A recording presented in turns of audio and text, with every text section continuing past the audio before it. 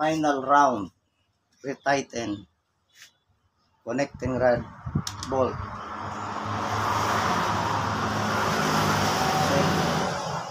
Sasagad natin ito sa 100 100 foot pounds.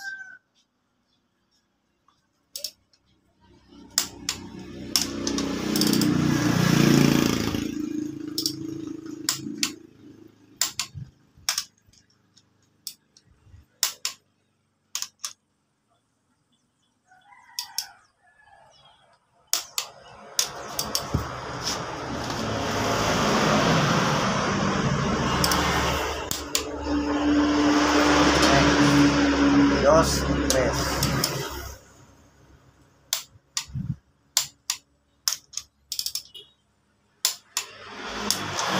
Na pala ito.